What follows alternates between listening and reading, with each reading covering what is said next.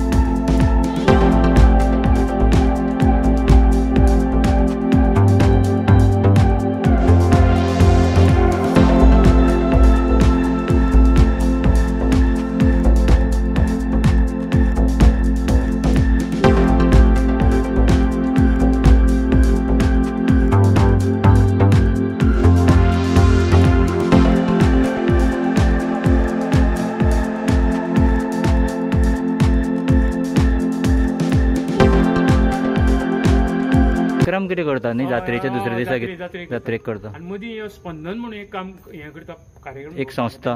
हय तेन्ना बरो लोक जाताय बरो हें हय सिद्धनाथ पर्वताचेर वयर पावतकीर. हांगसर सगळ्यांत मोठी जमेची बाजू म्हणटा ती की ह्या पर्वता वयल्यान तुमकां जवळ जवळ साठ टक्के गोंय दुर्बिणी शिवाय मोठे मोठे शहरां बाकीचे जे गांव आसा तेजी थंय पर्यंत थंय पर्यंत आमच्या हांगसरल्यान नजर पावता. तर हांगा तुमकां वेर्णा इंडस्ट्रियल इस्टेट फुडें वास्को तशेंच फुडें समुद्र आनी त्या समुद्रान आसा तें बेट तें सुद्दां दिसता.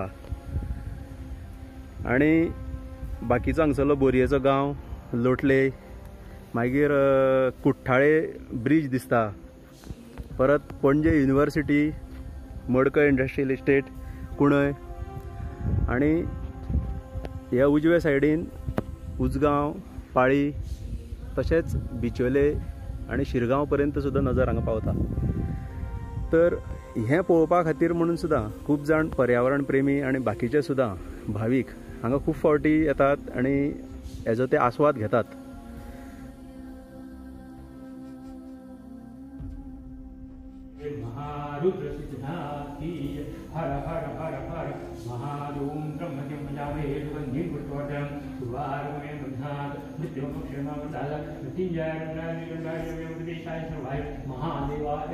महादेवाय ते जय। हर हर हर हर Mahadev.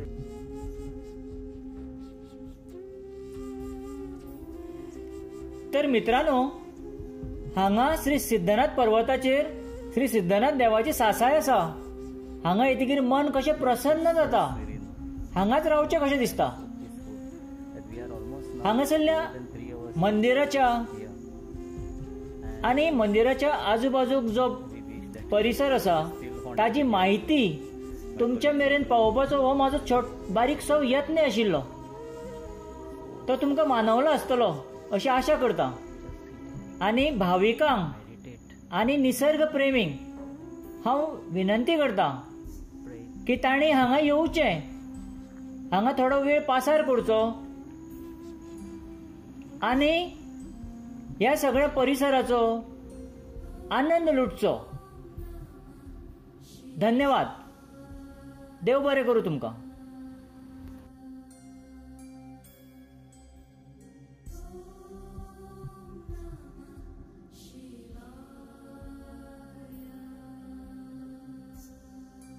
Friends if you have liked my video then please give me a up please share my video with your friends. And subscribe my channel too. And if any comments then please note them in the comments box. Thank you all